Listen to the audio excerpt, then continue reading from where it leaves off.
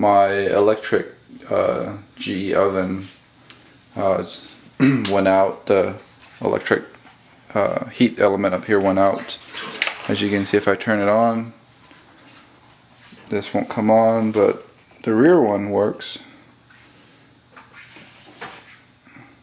You can see that's bright red, but the one up front won't turn on. So I'm going to replace it and I'll show you how. So first of all, remember turn off the power, unplug the uh, electric wire from the back. Let's take out the screws. All of these range stoves have two screws underneath here. One screw, two screws. Next thing, um, find a piece of wood. Find a piece of wood right here that what I have and just lift it up and hold on to it. Prop it up like so. Okay. Now depending on your stove there's just something that holds it in place. So I'm just one screw right here Just try not to strip it.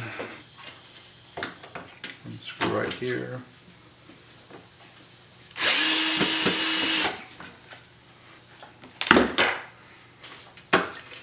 Pop it out. And then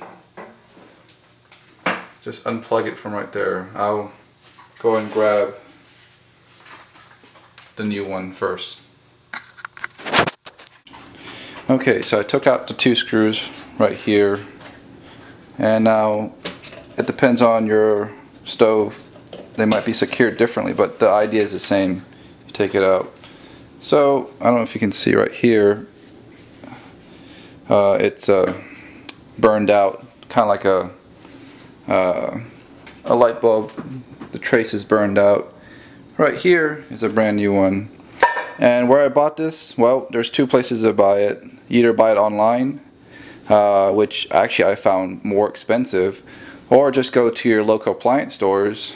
Like, I'm not talking about those big local appliance stores, I mean really local, local appliance stores. And they do carry these heat ele elements. So the whole idea is pretty much re removing these two connectors and put it on here. Remove those two connectors and put it on here. So let's do these, let's do it one by one. taking out one. Bottom one. And you put it on here. So next thing take out this one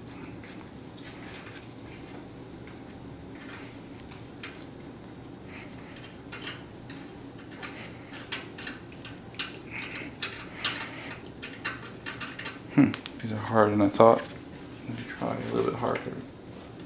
Oh, there we go. Second one. Put it right here.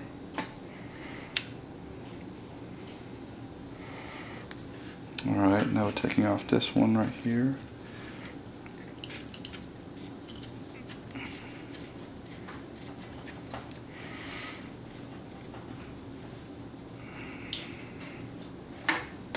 Okay.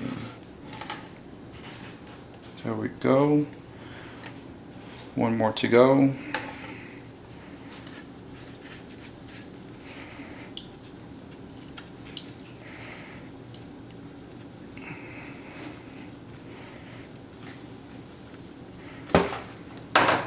Okay. Plug that in.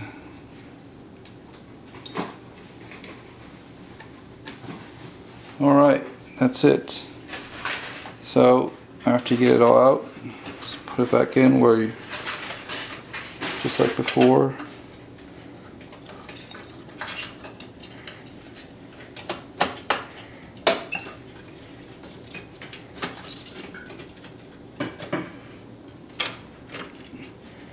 Alright so this is a zoom up. I don't know if you can see it but that's where it was burnt off Let me refocus real quick. There we go. So you can see that's burnt off. And I'm gonna put in the screws and we'll try it out. So my wife just cleaned up the inside of the oven. I guess that's a good idea to do. so let's continue on. Um, the only thing you just, you just put back the screws on. Okay, one. Another screw right here.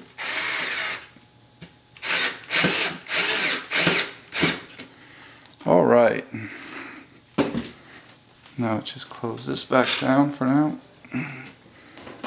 Of course you want to put back those two screws on the bottom. These two on the bottom when you're done. But we're just going to turn it on real quick and see if it works.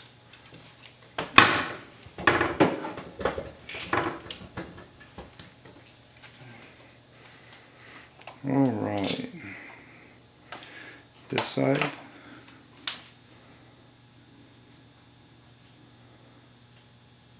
Yep, and there it goes, it works.